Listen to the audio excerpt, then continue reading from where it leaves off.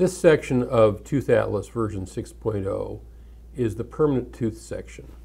And it really is the heart of the Tooth Atlas. Uh, you'll notice that the index of it is this visual, which you can roll over and decide which tooth that you want to look at. Um, you'll notice that the nomenclature in the Universal Palmer and International nomenclatures is listed on this. So what we'll do is go into the index to get into the various parts of this. We realized early on that there were a number of ways of presenting reality here, and rather than choose one way, we elected to show all the ways. So in looking at tooth morphology, tooth anatomy, we have developed a number of different protocols, and I'll go through those with you right now. The first is what we call rotations and slices. This is a combination of photography, which is the image on the left, computer-generated models, which is the image in the middle, and radiographic data, which is the image on the right. Um, these are synchronized and you can go through various angles of looking at these. So it gives you a way of looking at internal morphology, how that internal morphology is reflected in the radiograph and how that internal morphology is reflected on the external surface of the tooth. Along with this, we have slice data. And the data on the upper right side is actual mechanical grinding of the teeth. We put this in a milling machine, computer-controlled milling machine, and actually section down the teeth. The data on the lower right is taken off of the CAT scan data and it slices through the CAT scan data. And we can go down through this and you can take a virtual trip through the tooth from the cusp tips all the way down through the root cross sections down to the apex and you can see how the, cruise, the tooth cross sections change and how that's reflected in the canal morphology. We'll go back to the index page and we'll look at the upper first molar now. And what I want to show you here is a 3D models. This is really one of the main reasons that we went into this. We realized that being able to completely interact with this tooth was a very, very powerful way of learning the morphology. There are actually three models here. There's a model of the dentin, a model of the enamel, and a model of the pulp space. And these can be controlled individually. Right now we've selected the dentin. We can control the transparency of the dentin from completely opaque to completely transparent. So let's take this and make it completely opaque. We'll click take the enamel and make it completely opaque. Now we can take this tooth and using mouse commands, we can rotate this around and look at it. And if you're a periodontist, dental hygienist, your interest is going to be in the external anatomy. Where is the calculus going to hide? Where this external anatomy is going to cause you problems in your scaling? If you're an endodontist like myself, you're going to be interested in the internal anatomy of the pulp space. So we'll now take this and make this transparent and you can see that we can look down through this and see the pulp space. And this allows us to get a pretty good idea of the various anatomies that you can get in a tooth. You'll notice in this section alone that we have data on 27 teeth. And um, this tries to reflect the huge variety that you can run into. So while this tooth is relatively straightforward, there is another tooth down here that reflects very, very complicated anatomy in the mesial buccal root. And this is a challenge for any kind of endodontic procedure. So this is the 3D model space. the next way of looking at this reality is through the morphology comparison section. This was developed by Dr. Charles Goodacre from Loma Linda University. And it's an anthology of literally all the information that's ever been written about morphology of teeth.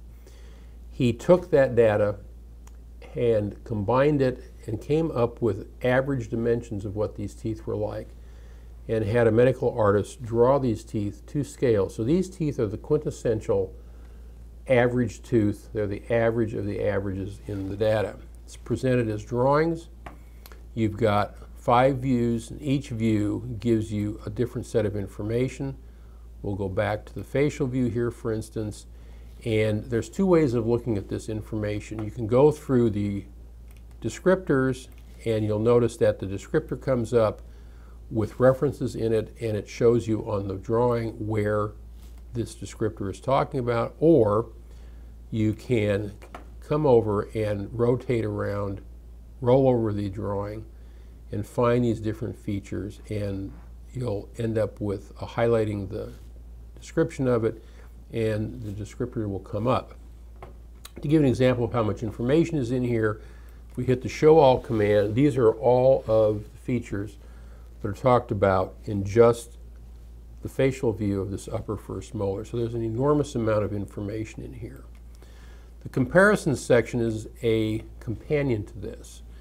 And what it does is rather than talking about the individual tooth, it compares that tooth and its features to the teeth around it. So for instance, let's take a look at the maxillary molars, the occlusal views, and this gives you a comparison of how the first, second, and third molars compare to each other.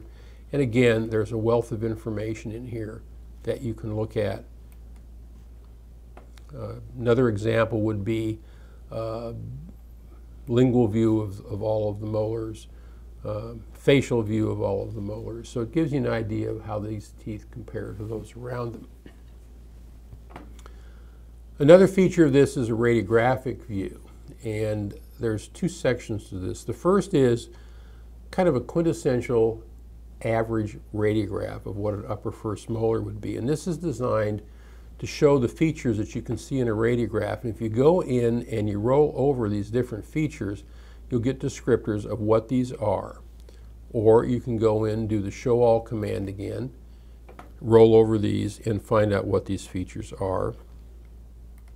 Or you can go down through the titles and find out what these features are and where they're located. So it gives you a couple variations on how to view this.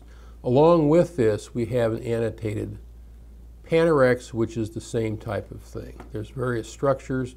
You can do the rollover, you can do the clicking on the title to find out where these structures are. Again, a lot of information is described here.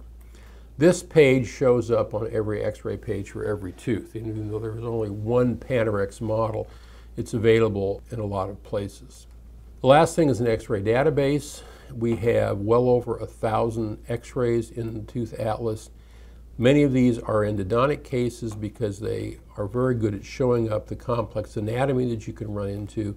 Some of them are x-rays of just abnormalities that you can run into. So this gives you the ability to look through a lot of variations. All of these x-rays you can use with the proper contribution of the person that submitted them in lectures. So it gives you a powerful resource for a presentation development. The last thing is the study quiz. There's so much information in here, particularly if you look at the comparisons and morphology section, that it's difficult to really figure out what's important and what's not. And what we've done with the study quiz is try to focus that attempt at getting what information is the most relevant, especially from a student standpoint. So if you take this quiz, let's just guess at one of these and submit the answer. Well, I got that one wrong, but it does give me the right answer. If you go through this quiz and learn from the quiz, it'll give you the information that really is um, necessary for a board situation, for instance. Let's go back to the main page. So that's the permanent tooth section of Tooth Atlas 6.